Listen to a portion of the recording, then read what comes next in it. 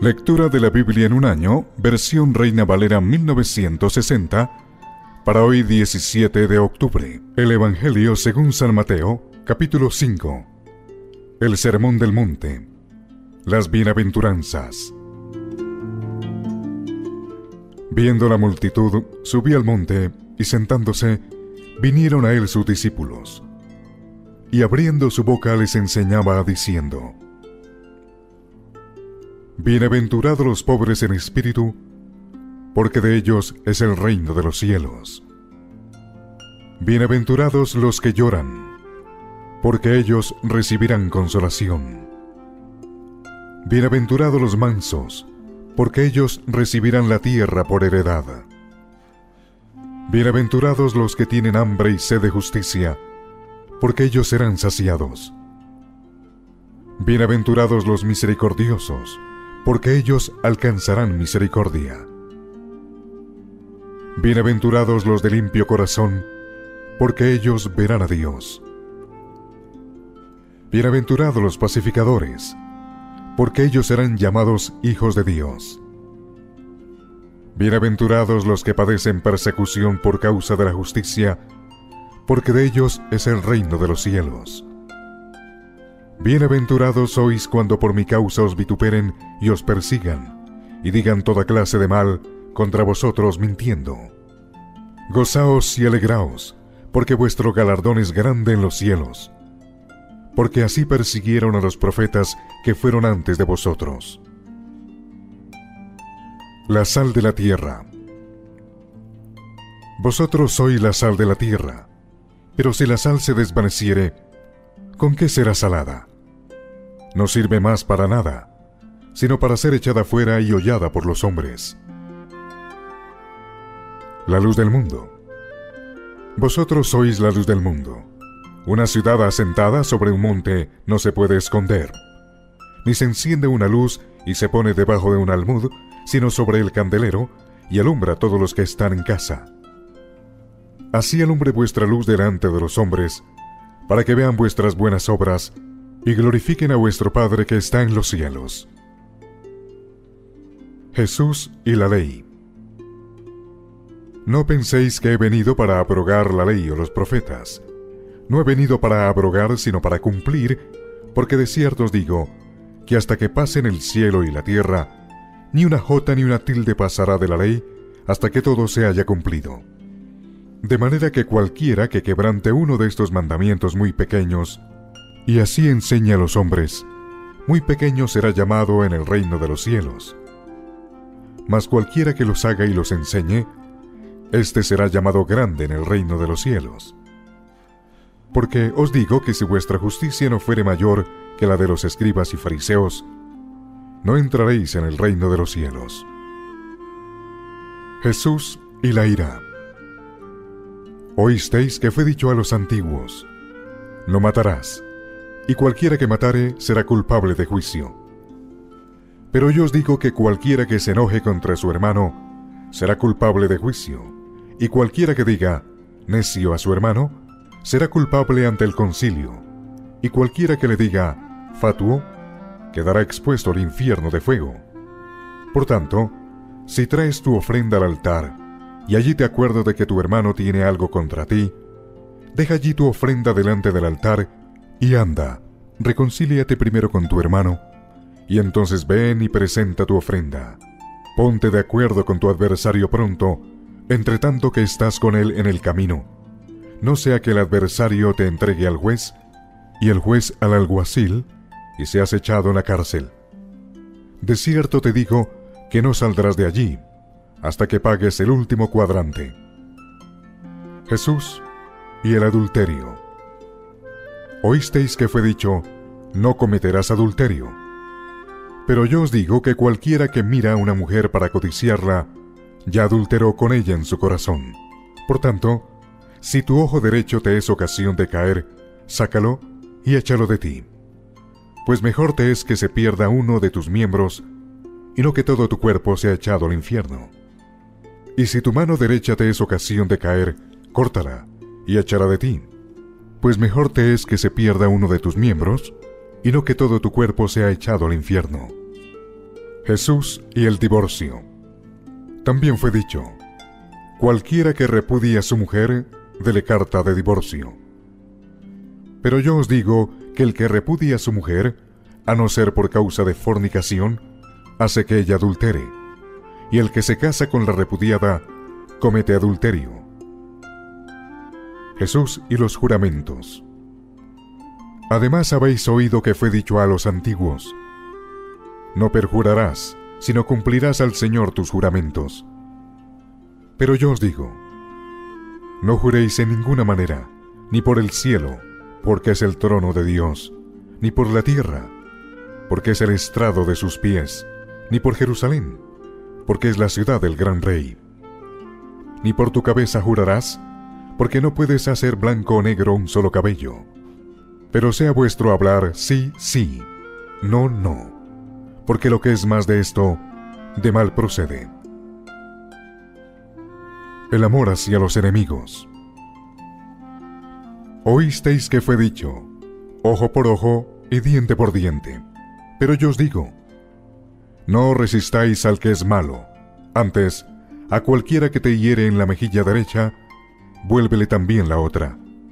Y al que quiera ponerte a pleito y quitarte la túnica, déjale también la capa y a cualquiera que te obligue a llevar carga por una milla, ve con él dos. Al que te pida, dale, y al que quiera tomar de ti prestado, no se lo rehuses. Oísteis que fue dicho, amarás a tu prójimo y aborrecerás a tu enemigo. Pero yo os digo, amad a vuestros enemigos, bendecid a los que os maldicen, haced bien a los que os aborrecen, y orad por los que os ultrajan y os persiguen, para que seáis hijos de vuestro Padre que está en los cielos, que hace salir su sol sobre malos y buenos, y que hace llover sobre justos e injustos. Porque si amáis a los que os aman, ¿qué recompensa tendréis? ¿No hacen también lo mismo los publicanos? Y si saludáis a vuestros hermanos solamente, ¿qué hacéis de más? ¿No hacen también así los gentiles? Sed pues vosotros perfectos, como vuestro Padre que está en los cielos es perfecto. Evangelio según San Mateo, capítulo 6. Jesús y la limosna. Guardaos de hacer vuestra justicia delante de los hombres, para ser vistos de ellos. De otra manera no tendréis recompensa de vuestro Padre que está en los cielos. Cuando pues des limosna, no hagas tocar trompeta delante de ti, como hacen los hipócritas en las sinagogas y en las calles, para ser alabados por los hombres. De cierto os digo que ya tienen su recompensa. Mas cuando tú des limosna, no sepa tu izquierda lo que hace tu derecha, para que sea tu limosna en secreto, y tu Padre que ve en lo secreto te recompensará en público. Jesús y la oración. Y cuando ores, no seas como los hipócritas, porque ellos aman el orar en pie en las sinagogas y en las esquinas de las calles, para ser vistos de los hombres. De cierto os digo que ya tienen su recompensa. Mas tú, cuando ores, entra en tu aposento y cerrada la puerta, ora a tu Padre que está en secreto, y tu Padre que ve en lo secreto, te recompensará en público. Y orando, no uséis vanas repeticiones, como los gentiles, que piensan que por su palabrería serán oídos. No os hagáis pues semejantes a ellos, porque vuestro Padre sabe de qué cosas tenéis necesidad antes que vosotros le pidáis. Vosotros pues oraréis así. Padre nuestro que estás en los cielos, santificado sea tu nombre, venga tu reino, hágase tu voluntad como en el cielo, así también en la tierra. El pan nuestro de cada día, dánoslo hoy. Y perdónanos nuestras deudas, como también nosotros perdonamos a nuestros deudores. Y no nos metas en tentación, mas líbranos del mal. Porque tuyo es el reino, y el poder y la gloria, por todos los siglos. Amén. Porque si perdonáis a los hombres sus ofensas, os perdonará también a vosotros vuestro Padre Celestial. Mas si no perdonáis a los hombres sus ofensas, tampoco vuestro Padre os perdonará vuestras ofensas. Jesús y el ayuno. Cuando ayunéis no seáis austeros, como los hipócritas, porque ellos demudan sus rostros para mostrar a los hombres que ayunan. De cierto os digo que ya tienen su recompensa. Pero tú, cuando ayunes, unge tu cabeza y lava tu rostro, para no mostrar a los hombres que ayunas, sino a tu Padre que está en secreto, y tu Padre que ve en lo secreto, te recompensará en público. Tesoros en el cielo. No os hagáis tesoros en la tierra, donde la polilla y el orín corrompen, y donde ladrones minan y hurtan, sino haceos tesoros en el cielo, donde ni la polilla ni el orín corrompen, y donde ladrones no minan ni hurtan. Porque donde esté vuestro tesoro, allí estará también vuestro corazón. La lámpara del cuerpo. La lámpara del cuerpo es el ojo. Así que, si tu ojo es bueno, todo tu cuerpo estará lleno de luz. Pero si tu ojo es maligno, todo tu cuerpo estará en tinieblas. Así que, si la luz que en ti hay es tinieblas, ¿cuántas no serán las mismas tinieblas? Dios y las riquezas. Ninguno puede servir a dos señores, porque o aborrecerá al uno y amará al otro, o estimará al uno y menospreciará al otro. No podéis servir a Dios y a las riquezas. El afán y la ansiedad. Por tanto os digo, no os afanéis por vuestra vida, que habéis de comer o que habéis de beber, ni por vuestro cuerpo, que habéis de vestir. ¿No es la vida más que el alimento y el cuerpo más que el vestido? Mirad a las aves del cielo, que no siembran, ni ciegan, ni recogen en graneros, y vuestro Padre Celestial las alimenta. ¿No valéis vosotros mucho más que ellas? ¿Y quién de vosotros podrá, por mucho que se afane, añadir a su estatura un codo? Y por el vestido, ¿por qué os afanáis? Considerad los lirios del campo, cómo crecen. No trabajan ni hilan. Pero os digo, que ni aun Salomón con toda su gloria se vistió así como uno de ellos. Y si la hierba del campo que hoy es, y mañana se echa en el horno, Dios la viste así, ¿no hará mucho más a vosotros, hombres de poca fe? No os afanéis, pues, diciendo, ¿qué comeremos? ¿O qué beberemos? ¿O qué vestiremos? Porque los gentiles buscan todas estas cosas, pero vuestro Padre Celestial sabe que tenéis necesidad de todas estas cosas. Mas buscad primeramente el reino de Dios y su justicia, y todas estas cosas os serán añadidas. Así que, no os afanéis por el día de mañana, porque el día de mañana traerá su afán. Basta cada día su propio mal. Evangelio según San Mateo, capítulo 7. El juzgar a los demás. No juzguéis para que no seáis juzgados, porque con el juicio con que juzgáis seréis juzgados, y con la medida con que medís os será medido.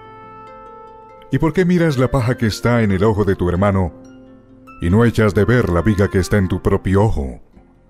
¿O cómo dirás a tu hermano, déjame sacar la paja de tu ojo, y aquí la viga en el ojo tuyo? Hipócrita, saca primero la viga de tu propio ojo, y entonces verás bien para sacar la paja del ojo de tu hermano. No deis lo santo a los perros, ni echéis vuestras perlas delante de los cerdos, no sea que las pisoteen y se vuelvan y os despedacen. La oración y la regla de oro. Pedid y se os dará. Buscad y hallaréis. Llamad y se os abrirá. Porque todo aquel que pide, recibe y el que busca, halla, y al que llama, se le abrirá. ¿Qué hombre hay de vosotros que si su hijo le pide pan, le dará una piedra? ¿O si le pide un pescado, le dará una serpiente? Pues si vosotros siendo malos, sabéis dar buenas dádivas a vuestros hijos, ¿cuánto más vuestro Padre que está en los cielos dará buenas cosas a los que le pidan? Así que, Todas las cosas que queráis que los hombres hagan con vosotros, así también haced vosotros con ellos, porque esto es la ley y los profetas. La puerta estrecha.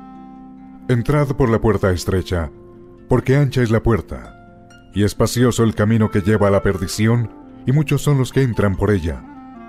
Porque estrecha es la puerta, y angosto el camino que lleva a la vida, y pocos son los que la hallan. Por sus frutos los conoceréis. Guardaos de los falsos profetas, que vienen a vosotros con vestidos de ovejas, pero por dentro son lobos rapaces. Por sus frutos los conoceréis. ¿Acaso se recogen uvas de los espinos o higos de los abrojos? Así, todo buen árbol da buenos frutos, pero el árbol malo da frutos malos. No puede el buen árbol dar malos frutos, ni el árbol malo dar frutos buenos. Todo árbol que no da buen fruto es cortado y echado en el fuego. Así que, por sus frutos los conoceréis. Nunca os conocí. No todo el que me dice, Señor, Señor, entrará en el reino de los cielos, sino el que hace la voluntad de mi Padre que está en los cielos. Muchos me dirán en aquel día, Señor, Señor, ¿no profetizamos en tu nombre, y en tu nombre echamos fuera demonios, y en tu nombre hicimos muchos milagros? Y entonces les declararé, nunca os conocí. Apartaos de mí, hacedores de maldad. Los dos cimientos. Cualquiera pues que me oye estas palabras y las hace, le compararé a un hombre prudente que edificó su casa sobre la roca. Descendió lluvia y vinieron ríos y soplaron vientos y golpearon contra aquella casa y no cayó, porque estaba fundada sobre la roca. Pero cualquiera que me oye estas palabras y no las hace, le compararé a un hombre insensato que edificó su casa sobre la arena, y descendió lluvia, y vinieron ríos, y soplaron vientos, y dieron con ímpetu contra aquella casa, y cayó, y fue grande su ruina. Y cuando terminó Jesús estas palabras, la gente se admiraba de su doctrina, porque les enseñaba como quien tiene autoridad y no como los escribas.